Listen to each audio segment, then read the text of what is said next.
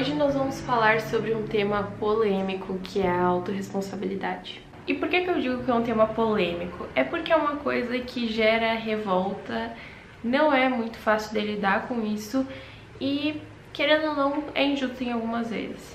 Mas mesmo assim, esse tema precisa ser abordado, porque se tu quiser chegar a algum lugar na vida, tu vai ter que lidar com a autorresponsabilidade em algum momento. A autorresponsabilidade começa quando a gente para de tentar controlar coisas que nós não podemos controlar e passamos a lidar com as consequências delas na nossa vida, com a forma como a gente vai lidar com elas.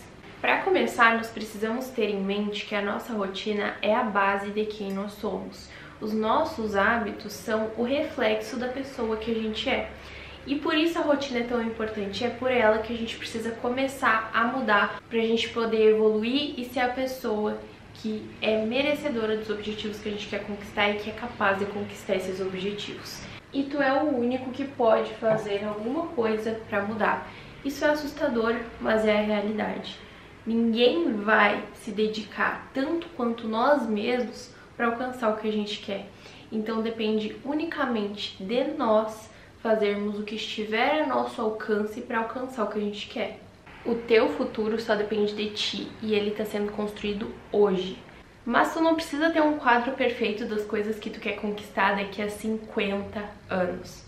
Apenas tenha em mente que quando tu evoluir como pessoa, tu vai ser capaz de alcançar seja lá o que tu quiser. Porque os nossos objetivos mudam e hoje tu pode querer uma coisa, mas daqui 5 anos isso pode mudar. Porém, a tua evolução como pessoa vai servir para qualquer objetivo que tu queira alcançar.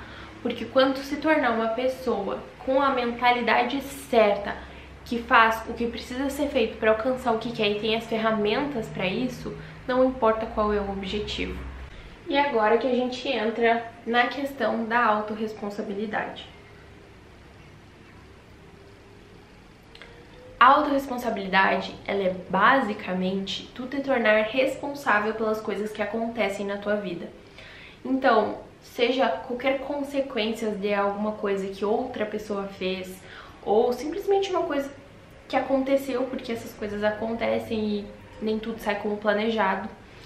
Nesses dois casos, tu vai te tornar responsável pelos resultados e pelas consequências dessas coisas que aconteceram para fazer com que isso seja resolvido. Porque a base da autorresponsabilidade é resolver seja lá o que cair no teu colo.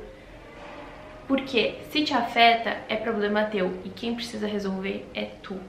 E é por isso que não é uma coisa confortável, porque às vezes pode ser uma situação totalmente injusta, uma coisa totalmente aleatória que aconteceu contigo, mas tu vai precisar resolver porque é do teu interesse que aquilo seja resolvido.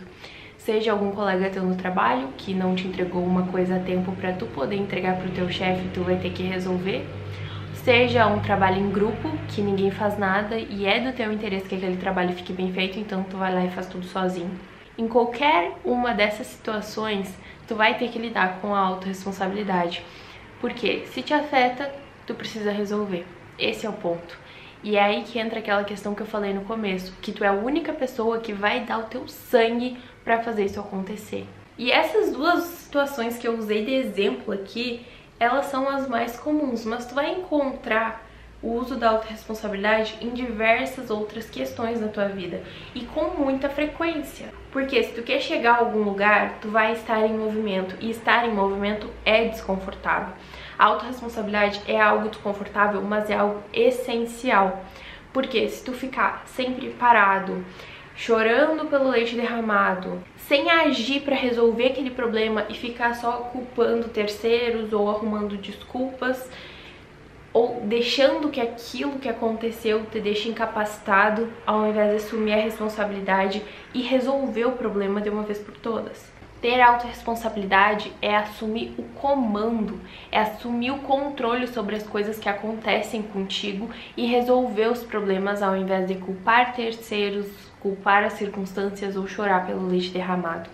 É quando tu toma a atitude de agir e fazer com que as coisas aconteçam na tua vida. É quando tu toma a atitude de sair da tua zona de conforto. E era sobre isso que eu queria falar contigo nesse vídeo. Meu café até esfriou de tanto que eu fiquei falando. Mas eu espero que tu tenha gostado, eu espero que tu comece a aplicar a autorresponsabilidade na tua vida para que tu veja o impacto disso, porque a autorresponsabilidade é o que vai mudar tudo. Se tu gostou do tema desse vídeo, não esquece de deixar o like aqui embaixo e também para eu saber o que tu achou desse novo formato de vídeo. Inclusive o teu comentário é muito importante porque o feedback de vocês faz toda a diferença, tá bom? Se é novo ou nova por aqui, não esquece de se inscrever no canal que eu trago conteúdo semanalmente aqui pra vocês, no mínimo 3 vídeos por semana. Muito obrigada quem assistiu esse vídeo até aqui, até a próxima e tchau!